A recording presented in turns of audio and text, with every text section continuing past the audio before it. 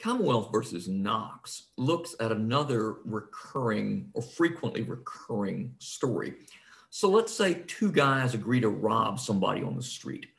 And as we've learned from robbery, this does not require a weapon. It often does involve a weapon, but it doesn't require a weapon. You could you could simply wrestle the the purse out of the victim's hands. And in fact, in, the, in, in agreeing to commit this, this act, uh, the two may or may not have agreed to have used force. Uh, maybe they're just planning to be pickpockets, and then one of them uh, uses force to actually wrestle the purse out of the victim's hands. The question in this case is, what are you on the hook for? Let's say that the that the original plan was was to was to commit an act of theft on the street. And, and one of the two Confederates comes armed with a knife or a gun. Is, is, the, is the person who is unaware that his Confederate has a knife or a gun that he employs during the course of, of, the, of, of the taking, is, is the, the unaware person automatically tagged with guilty of his Confederates' useful weapon? Well, under an old doctrine that was that was widely prominent prior to the model penal code, there was a doctrine called natural and foreseeable consequences.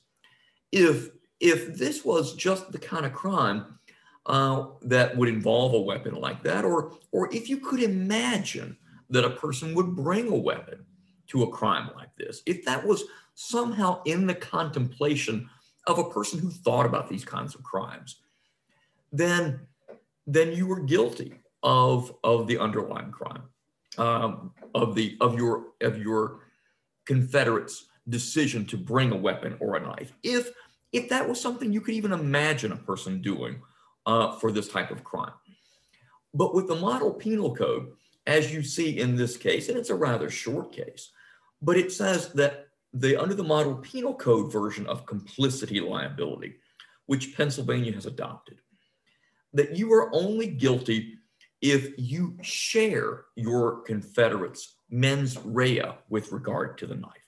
So if the statute says, you know, if you if you intentionally take money from a person while aware that you have a weapon, or if you if you intentionally take money from a person while intentionally brandishing the weapon, then in order for your in order for your co-defendant to be guilty of the armed robbery component of that crime, of the use of the weapon, your confederate has to have whatever the mens rea is required of you.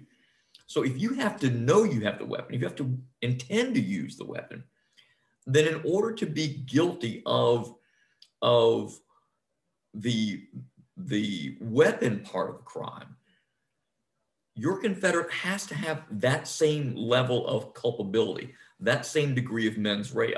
It can't be, well, we both agreed to a theft, and everyone knows that it's theoretically possible that someone might bring a weapon to a theft. That would have been enough under the old common law notion of natural and probable consequences. You agree to commit a crime, you, you assist in the commission of a crime, everything your Confederate does that is in, in any way conceivably an outgrowth of that assistance or of that agreement, you're on the hook for. That's the old common law notion. The model penal code says that's too punitive. People could, you know, your Confederate could go off the reservation. This might not be what you signed on for. Now, the courts aren't precluding the fact that you are guilty of this and that you have signed on for it. You simply have to show that under all the circumstances that you either were aware uh, that, that the person had the weapon, whatever the degree of culpability for, for the weapon is, you have to share. So let's say two of you walk into a bank um, and, uh, and you're going to rob it. You don't know that your co-defendant has a weapon. Could, could a jury still find that, that your defendant was aware that you had a weapon?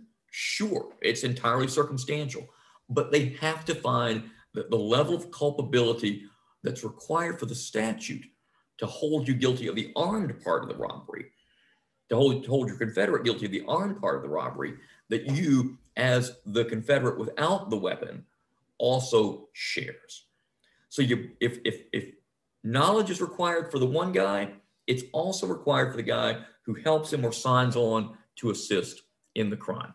That's the Knox case, and that is the model penal code version of, of the, the consequences of joining or being a part of a criminal act.